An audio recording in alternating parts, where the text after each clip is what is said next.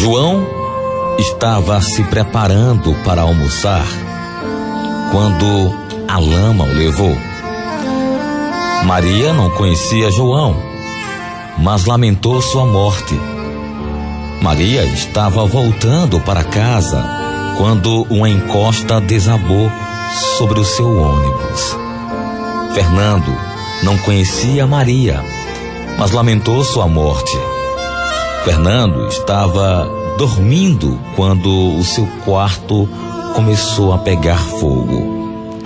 Ricardo, que lamentou a morte dos três, voltava de uma palestra quando o helicóptero em que estava caiu.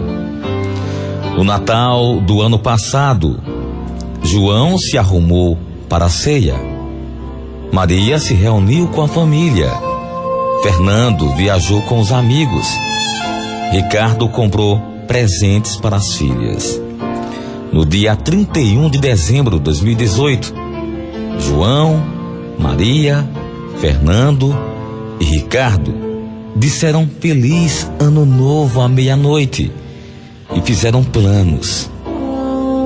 Mas o novo ano não foi feliz como eles imaginavam. Eu não conhecia o João, nem a Maria, nem o Fernando e nem o Ricardo.